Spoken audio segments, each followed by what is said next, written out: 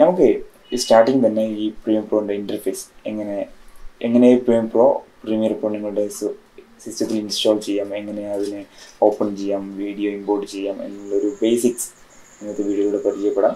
Please subscribe my channel and also click on bell icon for more updates Premiere Pro എങ്ങനെ install ചെയ്യാമെന്നുള്ളത് നോക്കാം. നിങ്ങൾ അഡോബിയുടെ സൈറ്റിൽ കയറിയാൽ തന്നെ നിങ്ങൾക്ക് പ്രീമിയർ പ്രോയുടെ ട്രയൽ വെർഷൻസ് സോ അവൈലബിൾ ആയിരിക്കുന്നതാണ്. ഇവിടെ ക്രിയേറ്റീവ് ആൻഡ് ഡിസൈനിൽ കയറി പ്രീമിയം പ്രോ നിങ്ങൾക്ക് ബൈ നോ അല്ലെങ്കിൽ ഫ്രീ ട്രയൽ വെച്ച് എന്ത് ചെയ്യാം? നിങ്ങൾക്ക് ട്രയൽ വെർഷൻസ് ഉപയോഗിക്കുന്ന ഉപയോഗിക്കാവുന്നതാണ്. ഇനി എഡ്യൂക്കേഷൻസ് ചില അധിക പേരും ക്രാക്ക്ഡ് വെർഷൻസ് ഉപയോഗിക്കാറുണ്ട്. ഓൺലി ഫോർ എഡ്യൂക്കേഷൻ പർപ്പസ് നിങ്ങൾക്ക് ഒരുപാട് സൈറ്റ്സ് അവൈലബിൾ ആണ്.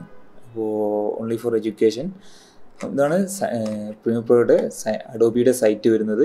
ഇനി ഏറ്റവും ഇമ്പോർട്ടന്റ് ആയിട്ടുള്ള കാര്യം ശ്രദ്ധിക്കുക. നിങ്ങൾ പ്രീമിയർ പ്രോ ഉപയോഗിക്കുമ്പോൾ അറ്റ്ലീസ്റ്റ് അതിന്റെ സിസ്റ്റം കോൺഫിഗറേഷൻ എന്ന് പറഞ്ഞുതരാം. അപ്പോൾ ഇവർ ഇവിടെ തന്നെ പറയുന്നുണ്ട്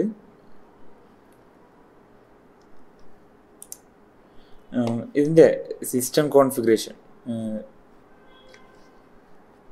ഇപ്പോൾ പ്രീമിയർ പ്രോ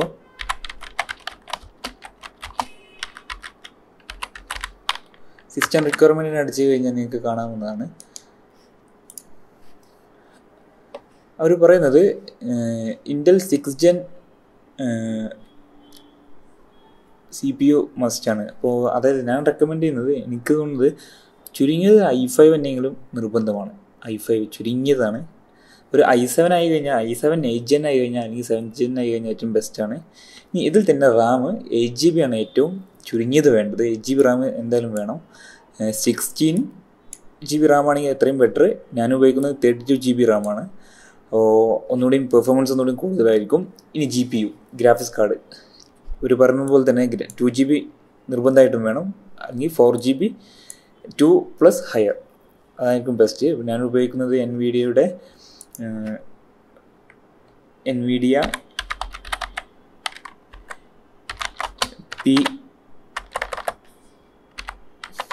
ടു തൗസൻഡ് എന്നുള്ള ഫൈവ് ജി ബി ഗ്രാഫിക്സ് കാർഡാണ് വരുന്നത്. ഇതാണ് ഞാൻ ഉപയോഗിക്കുന്നത്. ഒരുപാട് ഗ്രാഫിക്സ് കാർഡ് വരുന്നുണ്ട്. One zero six zero graphics card ഇതൊക്കെ അത്യാവശ്യം നല്ലതാണ്. നല്ല ഗ്രാഫിക്സ് കാർഡാണ് വരുന്നത്. അപ്പോൾ ഇത് ശ്രദ്ധിക്കുക. പിന്നെ ഫുൾ എച്ച് ഡി ഡിസ്പ്ലേ ആയിരിക്കണം. അപ്പോൾ ഇതാണ് ഇമ്പോർട്ടന്റ് ആയിട്ടുള്ള കാര്യങ്ങൾ ഇനി എപ്പോഴും ഗ്രാഫിക്സ് കാർഡ് എടുക്കുമ്പോൾ എൻ വി ഡിയുമായി ബന്ധപ്പെട്ട് എൻ വി ഡിയുടെ ഗ്രാഫിക്സ് കാർഡ് എടുക്കാൻ ശ്രദ്ധിക്കുക. കാരണം വി ആർ കാര്യങ്ങളൊക്കെ സപ്പോർട്ട് ചെയ്യണമെങ്കിൽ അവർ സപ്പോ എനേബിൾഡ് ആയിട്ടുള്ള ഗ്രാഫിക്സ് കാർഡ് എടുക്കാൻ ശ്രദ്ധിക്കുക. ലാപ്ടോപ്പ് എടുക്കുന്നവർ എനിക്ക് തോന്നുന്നത് ഒരു ചുരുങ്ങിയത്. ലാപ്ടോപ്പ് അത്യാവശ്യം പ്രീമിയർ പ്രോ എഡിറ്റ് ചെയ്യാൻ പറ്റുന്ന ഒരു ലാപ്ടോപ്പ്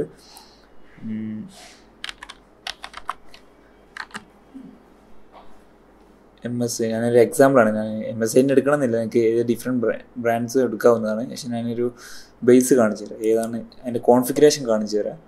അപ്പോൾ ഈ ഒരു സിസ്റ്റം അത്യാവശ്യം നല്ലൊരു സിസ്റ്റമാണ് അതായത് I seven eight generation sixteen G B RAM S S T plus H D D six G B graphics card ഇനി സിക്സ് ജി ബി വേണമെന്നില്ല. അപ്പോൾ നിങ്ങൾക്കിപ്പോൾ